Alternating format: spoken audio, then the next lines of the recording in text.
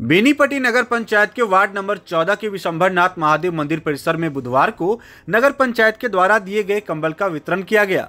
नगर पंचायत के कार्यपालक पदाधिकारी अमित कुमार, वार्ड पार्षद संजू देवी, भाजपा किसान मोर्चा के जिला मंत्री गिरधारी झा मुन्ना की उपस्थिति में वृद्ध जनों व लाचार लोगों को ठंड से बचाव के लिए कंबल दिया गया।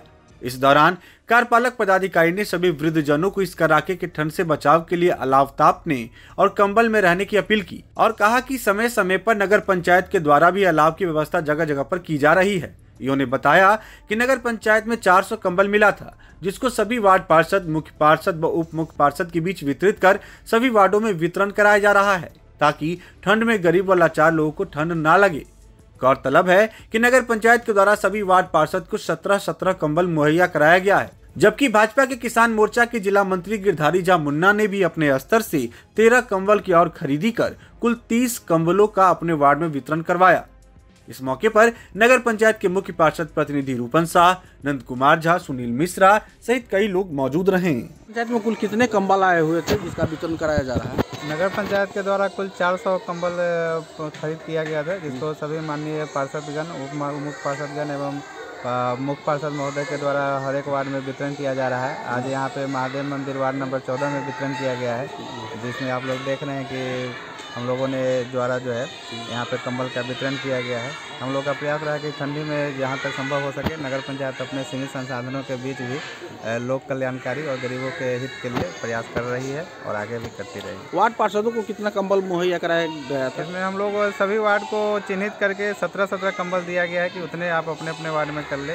और हमारे मुख्य पार्षद महोदय को सोलह और उप मुख्य पार्षद महोदय को जो है दस कंबल दिया गया है। कुल चार सौ कंबल का वितरण अब तक कुल कितने वार्ड में जो है कंबल का वितरण हो चुका है?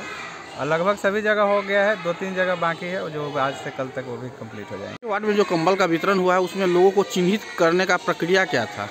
नहीं, चिन्हित करने का मान है इसमें कंबल देने का सरकारी नियम है जो मान लीजिए दिनहीन जिसका कोई आसरा नहीं हो तो बेनीपट्टी में तो पहले ये सब नहीं आता था जब से नगर पंचायत हुआ पिछले वर्ष भी बारह कंबल मिला हुआ था सभी वार्ड को इस बार सत्रह मिला। तो चिन्हित करने में मान लीजिए कहीं बढ़ भी जाता है तो उस हिसाब से अपने एडजस्टमेंट करके लोगों को देना पड़ता है। मेन मुख्य उद्देश्य है इनका जो कहीं सहारा नहीं हो उसको सहारा देने का काम किया जाता है।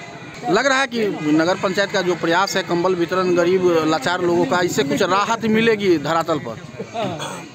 राहत तो मिले रहा है जो ठंडा का समय चल रहा है उसमें बहुत सराहनीय काम हुआ है नगर पंचायत के द्वारा। इसमें सभी वार्ड पार्षद सबको दिया गया है मुख्य पार्षद उप मुख्य पार्षद उस सबको को कुछ कम्बल दिया गया है। सारा वितरण का काम जारी है। प्रयास होगा कि अगले ठंडे के समय में कुछ आंकड़ा अधिक हो कम्बल का? हाँ तो ऐसा भी होगा तो फिर दिया जाएगा। नीक भेलै पहल?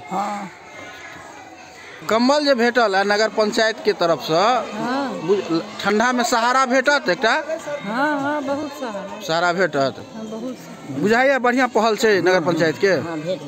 अब बेनीपट्टी में झोला प्रिंटिंग की फैक्ट्री जहाँ कम खर्च में क्वालिटी वाले झोले बनाए जाते हैं। ईएमआई पर भी यहाँ से माल ऑन टाइम डिलीवरी ले जा सकते हैं। साथ ही लड़की की शादी में यहाँ मिलता है मुफ़्त में झोला। तो आज ही संपर्क करें श्याम एंटरप्राइजेज बेनीपट्टी बेटा बाज़ार नियर ग्रामीण बैंक।